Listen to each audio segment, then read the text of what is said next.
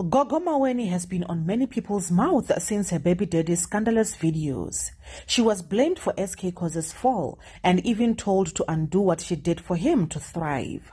This is after she wrote that no one eats if her babies are not eating, and those words were linked to two of her baby daddies whose careers crashed like a plane. However, T Squad Gogo Maweni denied such claims, but there were hearsays that there's a Sangoma who was looking for SK Khoza's father so he could help him with the reversal to what Gogo Maweni did to him, especially after seeing a head that looks a bit like SK's. So, guys, Iska was sick, and we've brought him to the vet.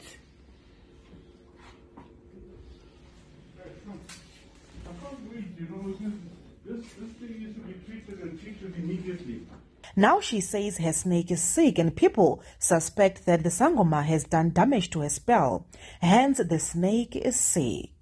At this point, T Squad, as scared as I am of snakes, we do know that people can have snakes as a pet or snakes for whatever reason, but it is never a reason to wish death upon it.